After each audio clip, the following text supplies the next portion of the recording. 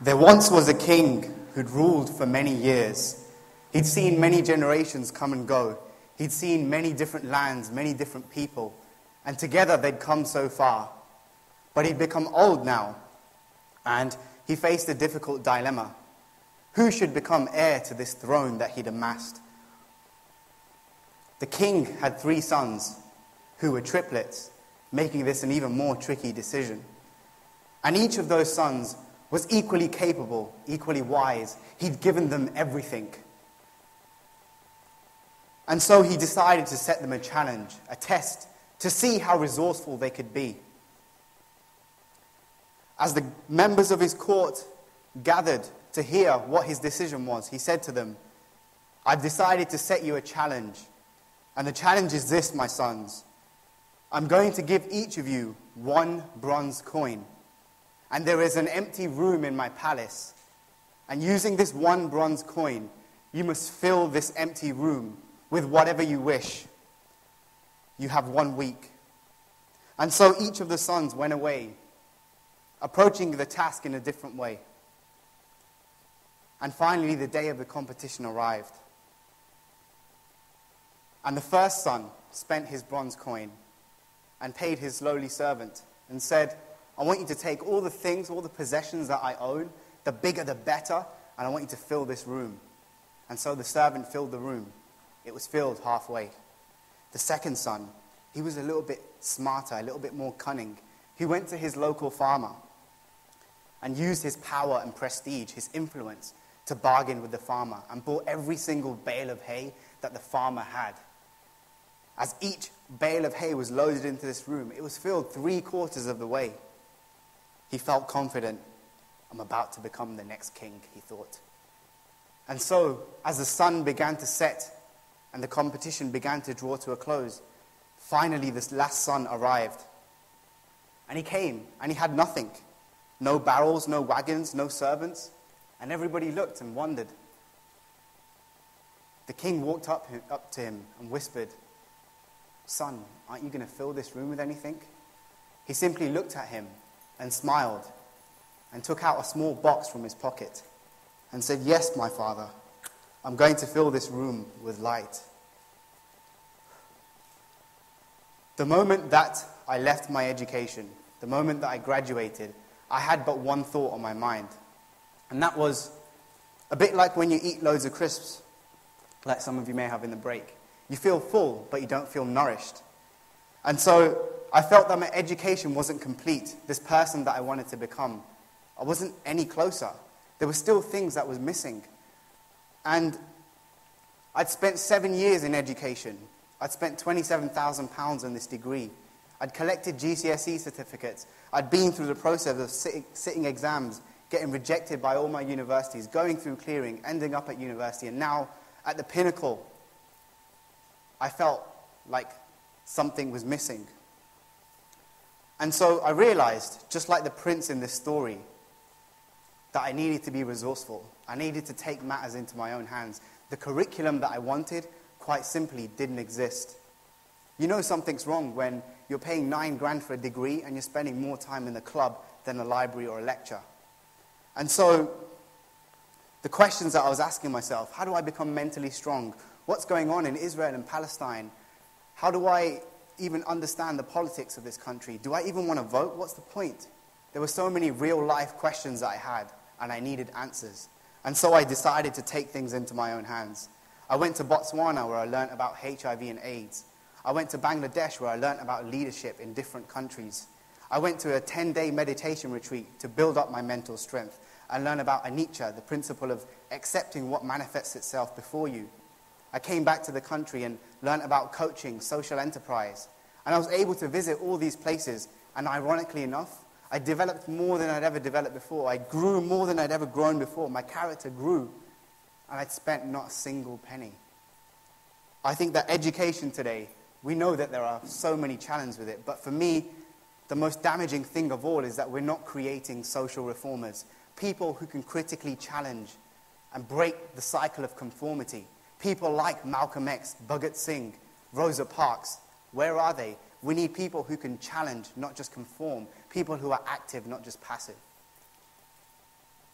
And so I've had the pleasure of working with young people in a variety of sectors and settings all over the world, and I've noticed a pattern. The same challenges and problems that I'd faced, many other young people face as well when they're transitioning into adulthood. And this phase is known as the quarter life crisis. I like to categorize this quarter life crisis into two main aspects civic and personal.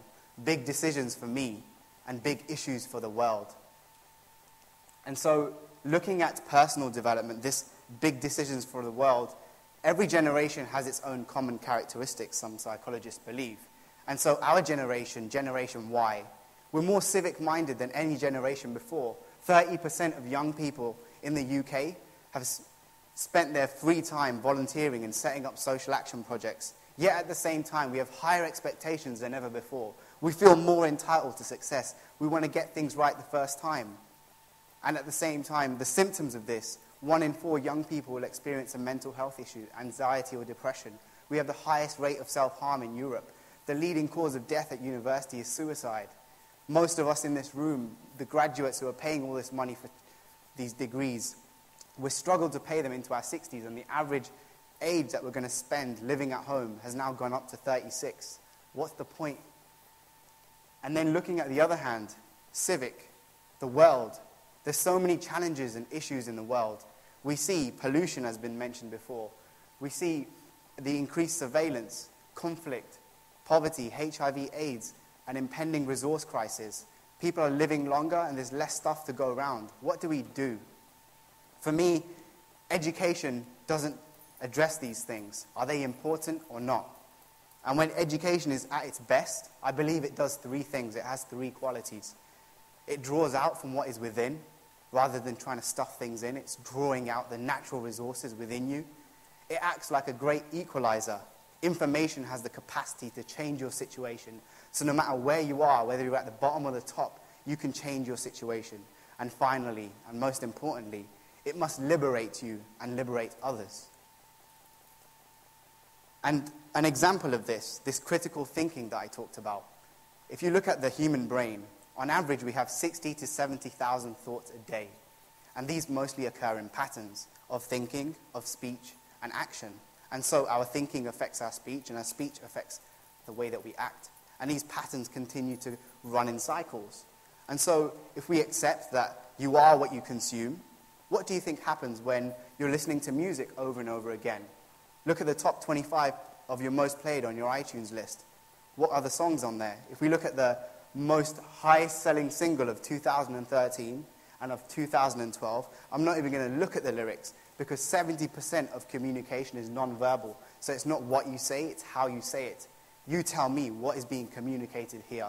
Is it giving you power or is it taking it away? Taking this further, the influence of the media on young people.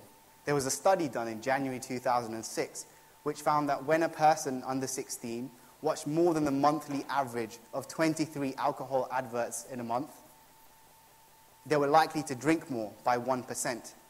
So you saw the lyrics in the previous slide. There was a reference to Patron. What do you think is happening there? Who is in power? The record label, the drinks owners, or you? And so, what's the solution? What do we do? Where do we go from here? I believe that we're living in a time of re, that there's a zeitgeist of taking responsibility, of being resourceful, of rethinking, of recycling. We don't need something completely new. We just need to tweak it, make an adjustment, and it's in our hands. We are this generation. And we're seeing this death of the singular fixed authority and entity that we depend on to fulfill our needs in every section of society, and the growth of these collaborative communities, crowdsourced. So, for example, you've got things like Airbnb, couch surfing, where you can sleep on a stranger's couch for free. You can sign a petition on Avaaz or 38 degrees and take on the powers that be. You can do so many things using this collaborative crowdsourced culture, this peer to peer network and hub. And looking at education, I think that the education that we need, the three qualities that we need, we don't need to depend on somebody else anymore. We can take it into our own hands. You've got artists like Akala, which will break down and give you social commentary on different issues through his album. You can look at Crash Course on YouTube and learn about world history in a five minute entertaining video. You can even get the world's best online courses for free. You can learn about macroeconomics, public speaking. All you need to do is go to your local library. All you need is an internet connection. And why is it important that we do this ourselves? Because if you look at the way that the human brain has evolved, we have three parts to the brain the medulla, the cortex, and the neocortex. The medulla is responsible for your core survival needs. The cortex is responsible for your emotion, your feelings, and the neocortex, the most recently evolved, is in charge of your rational thinking, your analytical thought. And the interesting thing is this the two older brains have an override capacity, meaning that survival trumps emotion. Emotion, in some cases, trumps logic. And when it comes to memory retention and concentration, the part of the brain that's responsible for these things is located within the emotional brain. So it's not just about what you're learning, but how you feel about it. That's why it's so easy to remember what your first kiss was like, or what your university campus looks like, or what your school canteen smelled like, because it's triggering a deep emotional response. And music, for example, has the power to evoke these deep emotions, to condition us, create an anchor point to these things. And so I'm not saying that school, college, or university are completely redundant. That would be far too simplistic a view.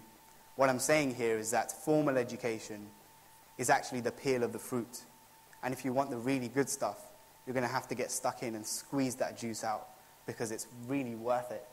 We see in America, when we graduate, we throw our hats in the sky and we feel proud and we're completely free from education at last. But they often refer to it as commencement ceremonies. Why? Because to borrow a quote from Roland Barthes, the French literary theorist, the birth of the student is ransomed by the death of the teacher. It's about time that we took things into our own hands rather than depending on someone to give us the education that we want. It's time for responsibility. Educational freedom comes not from how prepared the lecturer is or the university is, how good the lesson plans are, how many nice whiteboards we have in a classroom of 30 kids, but it comes from the student's intellectual efforts to validate his or her values and beliefs according to how the three brains are interacting. We have more information than ever before, and these different pieces of information trigger different parts of the brain. So it's not just important what you read, but what you don't. And finally, I want to say to you all if you're watching me right now, if you're listening to me right now, you are part of the 12%. When I was in Botswana working in a shelter for young girls for, who'd been sexually and physically abused, unfortunately, during our time, the funding was cut. And these girls were living in a situation where they didn't have any running water, they didn't even have padlocks on the front door. A place that was meant to be a shelter had nothing. And there were a whole load of different girls there and we saw, I saw that there was one in particular who, even though she didn't have any food, as you can see on the left, while the other girls would come home from school and watch TV and be watching music videos that would be conditioning them again through these responses, she'd take the tattered old books that had been dumped there and line them up really neatly and put up a sign at 5 o'clock every day Peggy's Library, now open. An example of her freeing herself from this mental slavery. If you want to emancipate yourself, if you want to find the education that you need, you need to take both hands, grab it, and make it your own. Nobody can do that for you. And finally, I want to say to you all that we need people who come alive. We don't just need passive citizens who are mediocre, who are mediocre and just coasting through life. We need people who come alive, people who are buzzing with energy and passion and only you can figure those things out according to the values, the dreams, the goals that you have. So, just like a bee gathers pollen from different flowers, absorb what's useful, discard what isn't, and add what's uniquely your own. Ditch the degree, create your curriculum, become a social reformer. Thank you.